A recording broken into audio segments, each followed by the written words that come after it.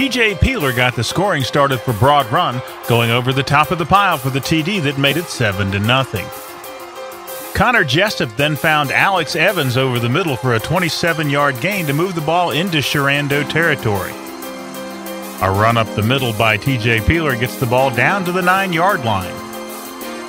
Then Connor Jessup finds Adrian Fleming in the right side of the end zone to make it 14 to nothing.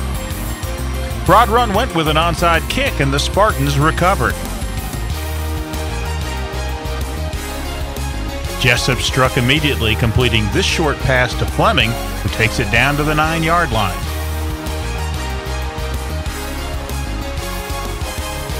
TJ Peeler almost scores, taking it down to the one yard line.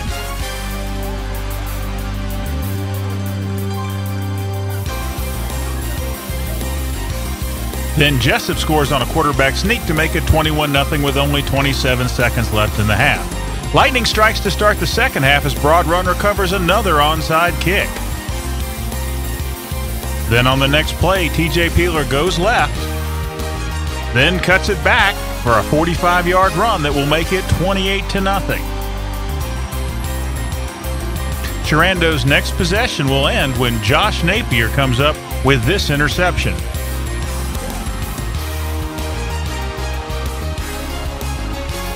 The Spartans would convert it into even more points as Peeler goes 10 yards for his third touchdown of the game. When Sherando didn't cover Alex Evans on the conversion, Jack Sester threw the ball to him to make it 36 0. Reserves would finish the game for Broad Run with the Spartans winning the Region 2 Division 4 title by a score of 36 13. Broad Run will next travel to Powhatan to play for the right to be in the Group AA state championship game at Virginia Tech.